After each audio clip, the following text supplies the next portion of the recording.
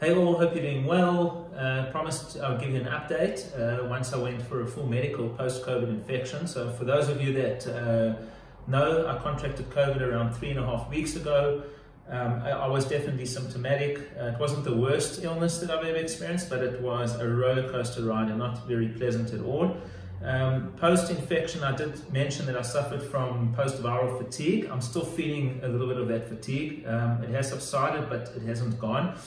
And yesterday I went for full bloods um, with a sports physician just to make sure that my engine is in good working order. Because if you're going to put stress on the body, and exercise is a stress on the body, you need to make sure that the body's going to cope with that stress. So I want to make sure there's no post-infection underlying conditions, etc. Anyway, my bloods just came back, and I said I would share them with you. They are not a pretty picture. Um, they're not a pretty picture.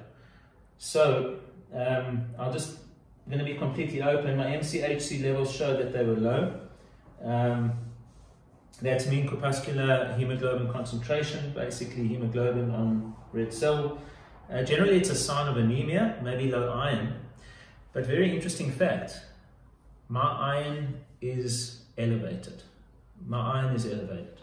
And the thing is, is that, and the sports physician mentioned this yesterday, is one of the symptoms that she's seeing post-COVID infection is excessively elevated iron levels um, in post-COVID sufferers. So, and that can be very toxic to the system. So you've got to understand it's not a good situation to be in. Now, I'm probably in a little bit of an advantage state here because I'm a plant-based eater. So my iron levels have always been on the lower end. And even though they've been on the lower end, they're elevated, which is not great.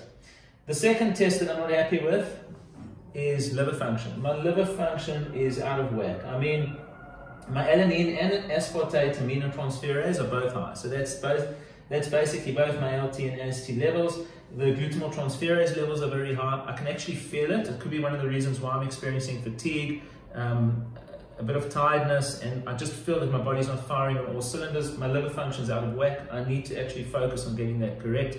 Um, it has never been that high in absolute years. The last time it was that elevated, I think, was maybe about 15 or 20 years ago, um, where I had an Epstein-Barr virus attack, but really, really um, not happy with that.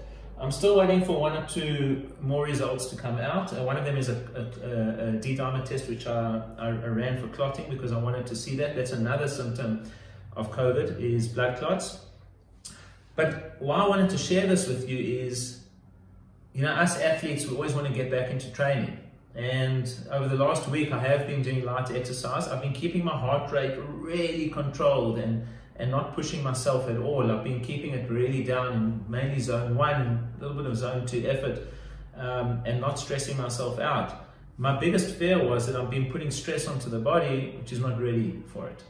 So, this just goes to show that you cannot put down the foot on the accelerator and pump the gas into the engine, especially uh, when there's an underlying condition, because you don't know what it's going to trigger and you don't know what it's going to cause. And the last thing you want to do is play games with your health. So for any of you that have suffered from a COVID infection and it's post-infection, don't just think you can jump back into training. If I was you, and this is highly recommended, go to a physician, run a full set of bloods, and make sure that your body is in clean, good, perfect health before you put any stress on it. Because the last thing you want is to land up in a very serious situation, which is too late to take back. So that's just what I wanted to share with you today. Um, please share this video. Make sure people understand that post-COVID infection, there are still issues and they need to be dealt with. Um, it's not something that you must just leave just because you got over what you think is a flu, and it's not a flu. We know that it's a novel virus. We don't know much about it.